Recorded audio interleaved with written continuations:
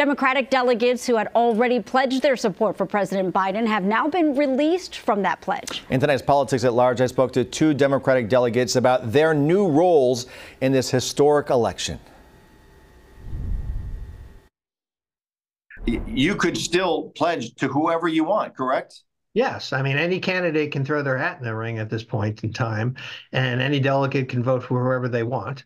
Uh, but I have the sense, talking to fellow delegates today, that everybody's on board uh, with the vice president. Steve Maviglio is a Democratic delegate from Sacramento who is waiting by his phone for a call from Democratic Party leaders. No, I think what's going to happen is the delegates will be called tomorrow to take their temperature on what's been happening. Uh, the Biden campaign has reached out to me twice already uh, during the last few weeks. We're now free agents, so we're no longer pledged.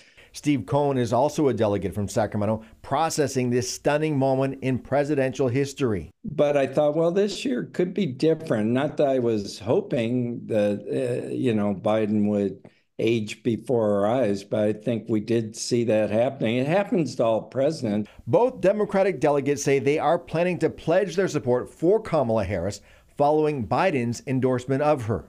Think it's huge. I think the president's endorsement uh, not only was important to re-emphasize her credentials, but also to send a signal to delegates and the rest of the Democrats that he picked her to be the vice president because he thought she was the best person equipped to take the job if anything had ever happened to him. I think she will uh, be the overwhelming favorite, and and frankly, it's hard for me to see another candidate emerge who could put together a a credible alternative.